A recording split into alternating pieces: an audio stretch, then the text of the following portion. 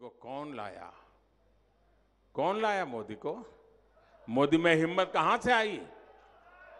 ये देश की जनता है जो मोदी को लाई है और देश की जनता के आशीर्वाद है, जिससे मुझे ताकत पाई है। इसलिए कांग्रेस अपनी सारी दुश्मनी मोदी के साथ ही देश की जनता से भी निकाल रही है। वो सिर्फ़ मुझे नहीं, आपको भी परेशान करने पर लगी हुई है।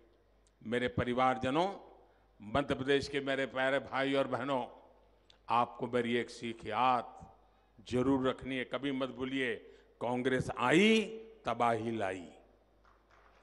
जहाँ जहाँ कांग्रेस आई, वहाँ वहाँ तबाही लाई।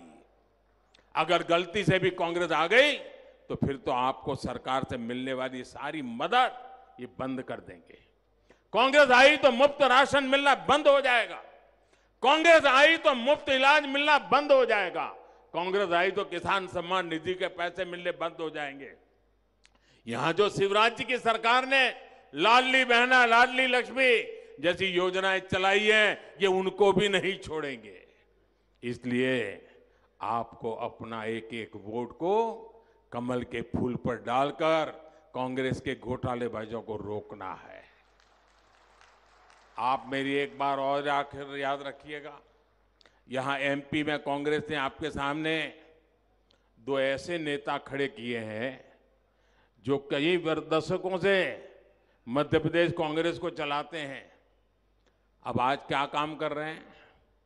दोनों कपड़ा फाड़ नेता बन गए हैं। एक दूसरे के कपड़े फाड़ रहे हैं।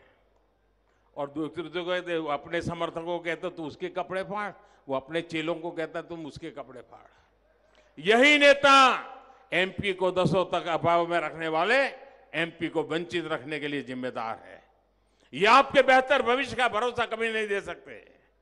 इनका तो अभी बस एक ही एजेंडा है। तीस तीन दिसंबर को भाजपा से हारने के बाद मध्य प्रदेश कांग्रेस पर किसका बेटा कब्जा करेगा?